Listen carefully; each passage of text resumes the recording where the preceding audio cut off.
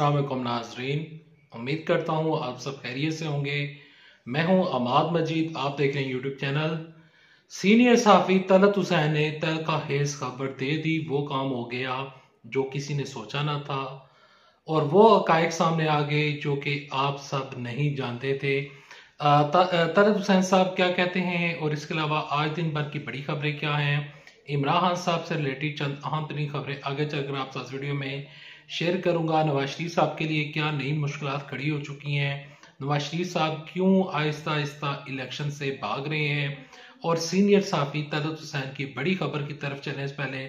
आगे बढ़ने से पहले रिक्वेस्ट करूँगा कि इस वीडियो को लाइक कीजिएगा, चैनल सब्सक्राइब कीजिएगा, साल अगर नोटिफिकेशन बटन दबाइएगा ताकि जो आने वाले वीडियोस हैं, आप उनको मिस ना कर सकें। देखें यूजली मैं इस तरह की वीडियो नहीं बनाता होता हूँ क्योंकि सहाफ़ियों के अपने तजिए होते हैं, लेकिन आज जो तलत हुसैन का मैंने तजिया देखा तो मैं इस वजह से तलत हुसैन के ऊपर वीडियो बना रहा हूँ। सबसे पहले आप यहाँ पर एक खबर मुलायदा करें। इस खबर में आप वाज तौर पर देख सकते हैं कि नवाज़ शरीफ साहब वो इलेक्शन लड़ने से पहले ही हार मान चुके हैं। नवाज़ शरीफ साहब ने कौमी असम्बली में जहाँ पर टिकट जारी किए तो इसके अलावा पूरे पाकिस्तान में उन्होंने टिकट जारी नहीं किए। पहली बात ये, दूसरी बात ये कि इन्होंने इस काम पाकिस्तान पार्टी के साथ इतिहाद बनाया पंजाब में। के पी के में इतिहाद बना गया बनाया गया है मौलाना फजलरहमान के साथ और सिंध में इन लोगों ने इतिहाद बनाया एम क्यू एम के साथ। इसके बावजूद भी नवाज़ शरीफ साहब ने पूरे पाकिस्तान में इन्होंने 54 हलके उन्होंने छोड़ दिए हैं और वहाँ से उन्होंने अपना कैंडिडेट खड़ा नहीं किया। पंजाब में जहाँ पर कैंडिडेट खड़े किए गए, सिंध में जहाँ पर कैंडिडेट खड़े किए गए, या जिन लोगों के साथ इन्होंने सीट एडजस्टमेंट करने की बातें की हैं, वो तमाम तर लोग कमज़ोर उम्मीदवार की सीयत से सामने आ रहे हैं। आपके साथ में एक मिसाल देना चाहूँगा और ये मिसाल शेयर करना चाहूँगा कि इन्होंने गुलाम सरवर खान को जो टिकट जारी किया, उसके ऊपर नून लीग को काफ़ी ज़्यादा खदशात भी हैं और नून लीग के जो लोग हैं, उनको इनके टिकट जारी करने के ऊपर, गुलाम सरवर खान के टिकट के ऊपर लोगों को तफजात भी हैं। जो गुलाम सरवर खान के इलाका के लोग हैं, मैंने उनसे उनकी राय पता की और उनके जो मुकामी सफ़ी तो उनसे मैंने पता किया तो नून लीग के जो लोग हैं, जो वर्कर्स एंड सपोर्टर हैं, वो ये कह रहे हैं कि गुलाम सरवर खान ने जिस तरह नवाज़ शरीफ साहब के खिलाफ बयानबाजी की, जब इमरान साहब हुकूमत में थे, हमें बाकी सारे बंदे एक्सेप्टेबल हैं, लेकिन गुलाम सरवर खान हमें एक्सेप्टेबल नहीं है। गुलाम सरवर खान के ऊपर लोगों को तफजात हैं। साथ ही जो इन्होंने ओन चौधरी के साथ जिस तरह का इन्होंने रिलेशनशिप बनाया और जो जहांगीर तरीन के ऊपर इनका बयान हुआ करते थे बयान हुआ करता था नून लीग का के जो जहांगीर तरीन है वो इमरान साहब की एटीएम मशीन है। लेकिन अब उसी एटीएम मशीन के साथ इन्होंने अपना एक इतिहाद बना लिया है। देखें प्यारे पाकिस्तानियों, जहाँ पर इन लोगों ने टिकट जारी किए वहाँ से इन लोगों के लिए इलेक्शन लड़ना और लड़ के जीतना इंतहाई मुश्किल नज़र आ रहा है। इसी वजह से सीनियर साफी तलत हुसैन ने एक बयान जारी किया है। एक उन्होंने अपना तबसरा शेयर किया है और एक बड़ा इंकशाफ किया है। वो आप यहाँ पर अपनी स्क्रीन के ऊपर देख सकते हैं। तलत हुसैन ने बड़ा इंकशाफ करते हुए कहा कि तारीख में पहली दफ़ा ऐसा हुआ है कि नून लीग अपनी कोई इलेक्शन कंपेन कर रही है। तो इस इलेक्शन कंपेन का कोई नसीर है, ना कोई पैर है, ना अभी तक मंशूर पेश किया गया, ना ये हमें पता चल रहा है कि ये अब इलेक्शन में जाएँगे तो इलेक्शन में जाकर ये लोग क्या करेंगे?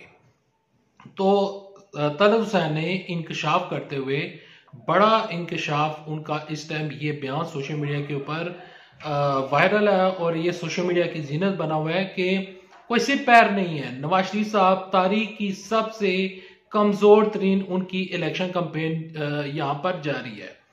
नवाज़ शरीफ साहब ने लिया का जलसा मनसूख किया।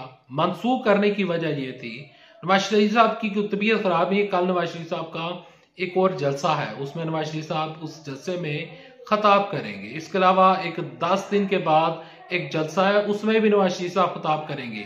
नवाज़ शरीफ साहब की तबीयत ठीक है नवाज़ शरीफ साहब की सेहत ठीक है लेकिन नवाज़ शरीफ साहब की आ, के लिए लोग नहीं निकल रहे। जब लोग नहीं निकलेंगे आपके जलसे खाली होंगे मैदान खाली होगा पिंडाल खाली होगा तो आप अपने जो आपके फेवरेट जर्नलिस्ट हैं वो आपके हक में खबर तो लगा देते हैं लेकिन आजकल का दौर सोशल मीडिया का दौर है आजकल जब भी कोई जलसा होता है फैसलाबाद में होता है मुल्तान में होता है या किसी भी जगह पर कोई जलसा होता है तो वहाँ पर, वहाँ के मुकामी लोग जलसे में खड़े होकर मोबाइल निकाल लेते हैं, नून लीग के जलसे में तहरीक इंसाफ के लोग चले जाते हैं। तहरीक इंसाफ के जलसे में नून लीग के लोग चले जाते हैं और वहाँ पर जाकर जो जलसा होता है उसको कवर करते हैं। और लोगों के सामने अकायक लाकर आज रखे जाते हैं। तो जब अकायक सामने आ रहे हैं और जिस तरह की वीडियोस पिछले चंद जलसों में वायरल हुई, जब इन्होंने इलेक्शन कंपेन शुरू की तो लोगों के साथ वादा किया गया कि जो बंदा ज़्यादा जलसे में बंदे लाएगा, उसको होंडा वन टू फाइव दिया जाएगा। जलसों में बिरयानी का लालच दिया जाता है। देखें आजकल के दौर में ये जो आजकल का दौर चल रहा है इसमें इस तरह की कंपेन करना आसान नहीं है। दूसरी जानब से इमरान साहब की कंपेन बड़ी अच्छी इस टाइम चल रही है।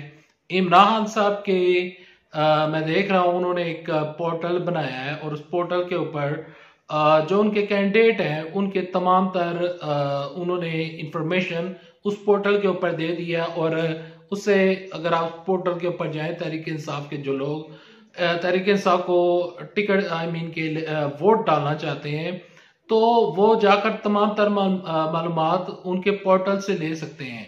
यहाँ पर जो नून लीग के लिए एक और बड़ी प्रॉब्लम है कि जब भी इन लोगों के जलसे हो रहे हैं तो जलसों के ऊपर, जलसों की जो पॉपुलैरिटी है वो सोशल मीडिया के ऊपर होनी चाहिए, लेकिन सोशल मीडिया के ऊपर इनकी पॉपुलैरिटी नहीं है।